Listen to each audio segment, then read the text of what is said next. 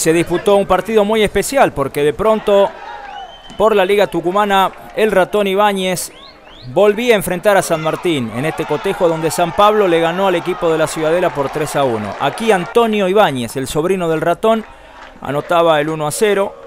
El partido se disputó en la cancha del Boys, donde San Martín hace las veces de local. Aquí está Pereira. Y el partido 1 a 1. Pero Gustavo Ibáñez volverá a ser protagonista.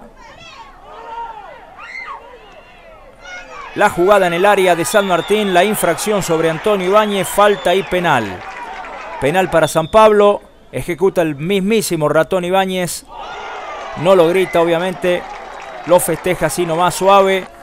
2 a 1 ganaba el Paulitano que va a tener la tercera conquista nuevamente con Antonio Ibáñez. La bajó el ratón, llegó Antonio y de esta forma San Pablo le ganó a San Martín por 3 a 1 en el único partido de la liga que se disputó durante la semana. ¿eh? Poniendo al día entonces el campeonato, finaliza la primera rueda de este certamen Alberto Martí.